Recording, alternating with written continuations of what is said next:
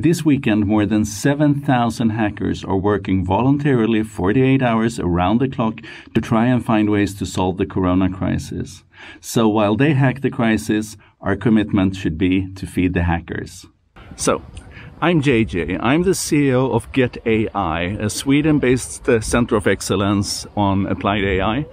Uh, and the thing is, I've taken part of at least 25 hackathons, and I know that hackers need to be happy to perform well, and to make hackers happy, you need to feed them. In a few very simple steps, here's my suggestions on what to do. So, step one, find a local restaurant because they need our support as well. By the way, if you are in an area with tighter corona restrictions than Sweden, then you could of course use an online service. The important thing is get some food. And when you order the pizzas, don't forget the vegetarians. Pizza is really good veggie style, so maybe go all in on that.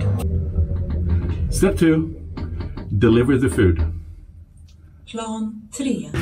See them open the door and the joy when they receive the pizzas. Welcome. Uh, I'm sitting there. You guys are sitting there. Oh, a lot of space, so I'll put the food here. Step three, or whatever, put the food on the table and remember to keep physical distance. Enjoy.